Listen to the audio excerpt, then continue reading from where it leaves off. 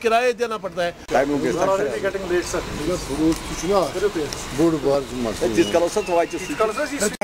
اور اس کے ساتھ ہمیں کیٹی ایم ایف بھی ہے اور اکٹھے ہم ایک مصیبت میں مبتلا ہو چکے ہیں۔ ہم اس مصیبت سے باہر آنا چاہتے ہیں۔ ہوا یہ کہ جموں سے کشمیر سری نگر تک جو شاہراہ ہے اس پر جو سینکڑوں سال سے مال آ رہا ہے کاٹ روڈ کے زمانے میں بھی، اس کے بعد بھی، آج کل بھی بدقسمتی سے کسی خاص پالیسی کے تحت جتنا بھی مال یہاں کے ویجیٹیبلز یہاں کا مٹن، یہاں کا فروٹس اور لیٹر آن میڈیسنز کچھ بھی اور ٹریڈ ٹریڈ جتنا بھی ہے ٹوریزم پر کافی دباؤ اور ٹوٹل ڈیزاسٹر ہو رہا ہے۔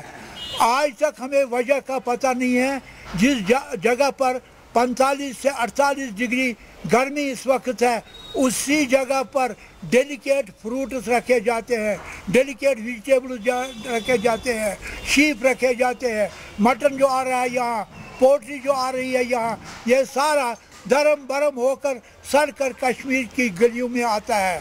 کیا ہے وجہ اس کا؟ کہ اس کو بلاک کرنا بلاک کرنا کوئی عقل مندی اس میں نہیں ہے۔ یہاں سے کہتے ہیں کہ لوگوں کو فائدہ ملے گا، لوگوں کے یہ کر رہے ہیں۔ یہ اوپن اس میں کوئی پالیٹکس ہی نہیں۔ There is no politics involved or entitled to it it is clear that it is road of Jammu to Srinagar which has been unfortunately blocked at time they are trying to create they are trying to create such misunderstanding with the innocent people of Kashmir that this whole valley has changes into disaster. Tourists get surprised. Why this blockade is there on these roads and the vegetables are stinking, fruits are stinking. Fruits are not being affected ایک ہی طرف سے fruit ختم نہیں ہو رہے ہیں جو وہاں سے ضرورت کے سامان آتے ہیں وہ بھی سڑ جاتا ہے جو یہاں سے فروٹ گرو ہو رہا ہے وہ بھی سڑ جاتا ہے یہ مٹن کی حالت ہے ہماری عید آ رہی ہے ہمارا ماہی مبارک آ رہا ہے۔ آج سے ہی ہمارے ہمارے سارے راستے بند پڑے ہوتے ہیں۔ بیماروں کو صحیح دوائی یا صحیح کھانا تک نہیں مل رہا ہے۔ اس میں کون سی سیاست ہے؟ کون سا الیکشن ہے؟ کون سا پروگرام ہے اس میں؟ تو وی کی ناٹ انڈرسٹینڈ اس طرف اگر کشمیر کے لوگوں کو ایک سے لے کر لاکھ تک لاکھ سے لے کر دس لاکھ تک کسی کو بھی ہیراس کیا گیا، وہ وقت دور نہیں ہوگا۔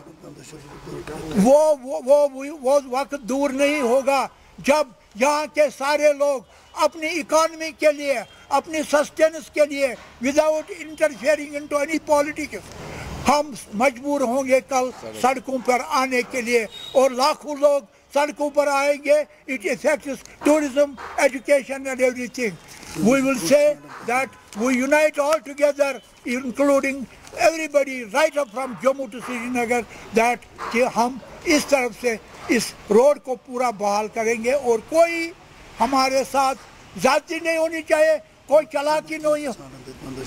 And we have to pay bribes on the way جب تک یہاں گاڑی آتی ہے، اس میں کچھ بھی نہیں رہ جاتا ہے۔ And our people who are selling goods on the roads وہ بھی سفر کرتے ہیں۔ دکان والے سب سفر کر رہے ہیں۔ So whole Kashmir is burning like this for the economy thank you information ہے کہ کچھ لوگ دلی سے آئے اب وہ ہمیں یہ کہہ رہے کہ وہاں پہ ہمیں یہ کہا جا رہا ہے کہ آپ پندرہ سو روپے پر ٹرک دے دو تو ہم آپ کی گاڑیوں کو چھوڑ دیں گے اور وہ بھی کب چھوڑیں گے جب ون وے نہیں ہوگا ٹو وے میں چھوڑ دیں گے۔ اور اس کے عوض ہم کیا کر لیں گے کہ آپ کی گاڑی کو ادھم پور کے بجائے ہم پٹنی ٹنڈر سے نہیں مال چھوڑیں گے۔ ہم اب آپ کو مال کو پٹنی ٹاپ سے چھوڑیں گے پرانے راستے سے اور وہاں پہ اس کو ڈیٹین رکھیں گے جب تک رکھنا ہوگا۔ اس کے بعد جب بھی راستہ کھلے گا جب ہم چاہیں گے تب مال چھوڑ دیں گے آپ کا۔ لیکن پر ٹرک پندرہ سو روپے ہمیں دینے پڑیں گے۔ یہ انہوں نے وہاں پہ بات کی۔ ہمارے پاس کل سے انفارمیشن آ رہی کچھ لوگوں کی طرف سے کہ آپ اس پہ آگری ہو جاؤ۔ ہم پندرہ سو روپے آپ کو پر ٹرک آپ کو دینا پڑے گا، تب آپ کا مال کسی طریقے سے کشمیر پہنچ جائے گا۔ ورنہ ہمارے مال کو پہنچنے کی کوئی مطلب لگ رہا ہے کہ نہیں، وہ چھوڑ رہے ہیں۔ تین تین دن، چار چار دن، پانچ پانچ دن وہاں پہ مال ہمارا روکا جا رہا ہے۔